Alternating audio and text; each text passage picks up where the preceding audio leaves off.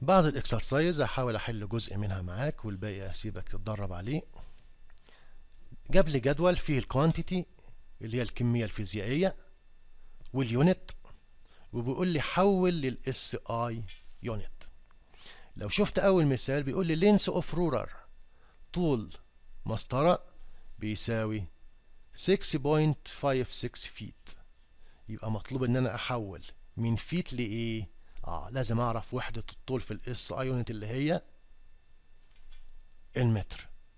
يعني هديك ال key أو مفتاح حل ال exercise بحيث إن أنت تحاول تجرب by yourself لوحدك يعني. طيب ال force applied القوة. القوة بيقول لي 5 داين طب أنا مش عارف إيه الداين كتب لي بين قوسين عشان يوضح لي. الداين هو جرام في سنتيمتر second أس سالب 2 عايز أحول ال 5 داين لوحدة القوة في ال SI unit اللي هي النيوتن. طب ما هو النيوتن؟ يبقى كيلو جرام وحدة الطول متر وحدة ال second أو الزمن لا تتغير.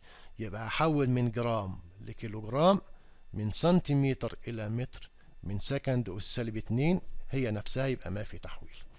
ال density of matter خدنا مسائل أكتر من مثال على ال density يبقى أحول نص جرام per cubic centimeter هحول لإيه الوحدة في ال SI unit كيلو جرام per cubic meter. ال speed of car سرعة ال car أو السيارة.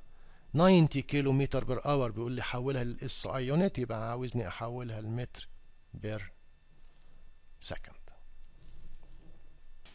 ال exercise التاني ممكن يجي لي بقى بعض الاختيارات. الاختيار الأول بيقول لي dimensional analysis وحط لي تحت cannot شرطة عشان يلفت انتباهي. cannot give the numerical value of constants of proportionality. هل الدايمنشن analysis يعطيني ولا لا يعطيني قيم الثوابت في المعادلات الرياضية أو في التناسبات؟ طبعا كان not صحيح إنه لا يعطيني يبقى الإجابة أو الجملة true ولا false طبعا true. يبقى أختار على الإجابة الصح true. Check the accuracy. مثال تاني على dimensional analysis. Check the accuracy of the equation using dimensional analysis. اختبر صحة المعادلة باستخدام أو بتطبيق الأبعاد.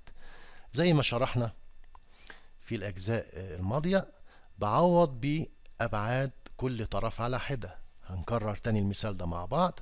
لو خدنا ال left hand side الطرف الأيسر أبعاد السرعة L على T أو L T minus 1 لقيت تربيع فلازم أربع المقدار كله. بعد كده أفك التربيع يبقى L تربيع T minus 2 ده ال left hand side أروح لل right hand side الطرف الأيمن. أبعاد السرعة خلاص أنا طلعتها أو حسبتها اللي هي L2 سالب. طبعا الفي تربيع. لأن السرعة الابتدائية سرعة نهائية سرعة متوسطة أي سرعة لها نفس الأبعاد. يبقى L تربيع T minus 2 plus قلنا الثوابت ليس لها أبعاد. التسارع L T سالب. 2 ال time أبعاده T time تربيع إذا T تربيع. طيب نكمل.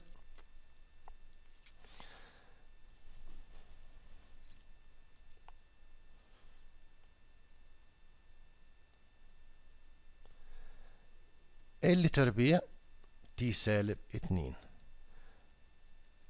ال T minus 2 و T plus 2 يديني T اس 0 بواحد يتبقى. L هنا خلاص وصلت المرحلة إن أنا الحدود اللي عندي ما ينفعش أجمعها على بعض لأن الحدود المختلفة لا تجمع. هل أبعاد الطرف الأيسر هي نفسها أبعاد الطرف الأيمن؟ طبعا الأبعاد مختلفة. يبقى نقول له الايكويشن is not correct أو المعادلة خاطئة. كرر لي نفس المثال اللي حلناه لكن بطريقة مختلفة.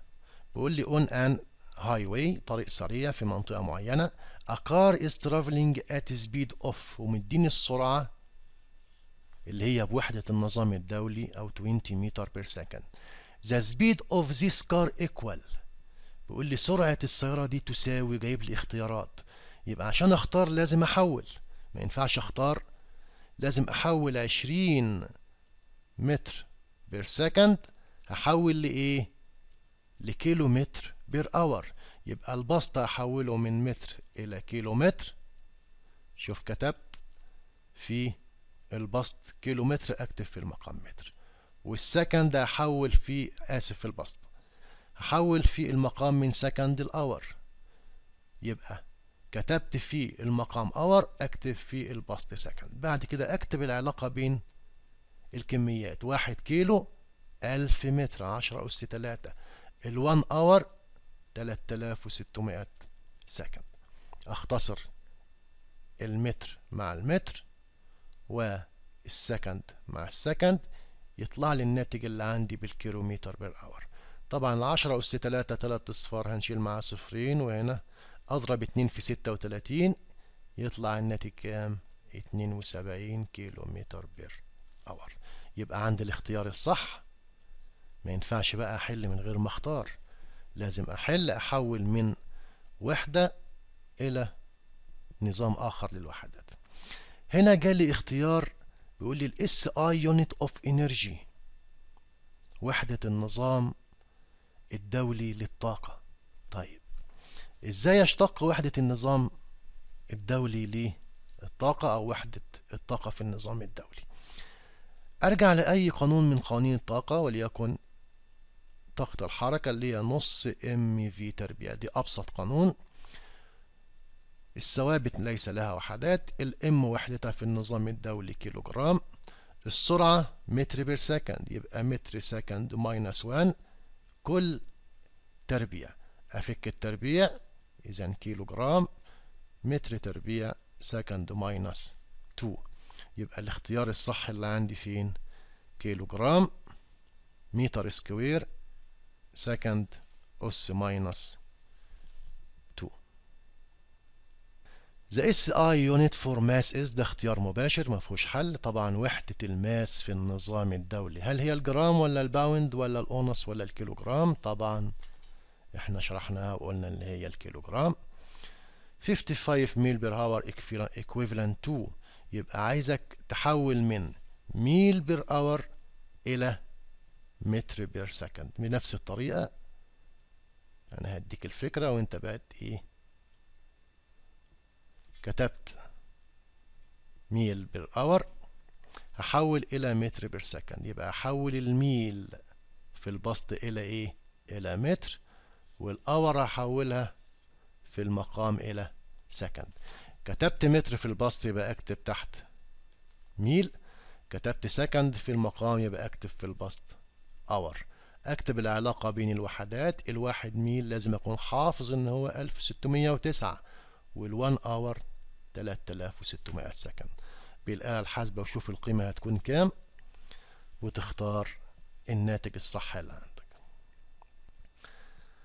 آخر example أو exercise عندنا أيضا على الأبعاد أو باستخدام الأبعاد. بيقول لي suppose افترض إن ال V بتساوي A أس N T أس M جاب لي علاقة والمجاهيل عندي الأسس أو ال power لل acceleration ولل time وبيعرف لي هو في السبيد أو الفيلوسيتي ال الأكسلريشن التي التايم then the exponents n and m الاسس ال n وال m have the values of respectively.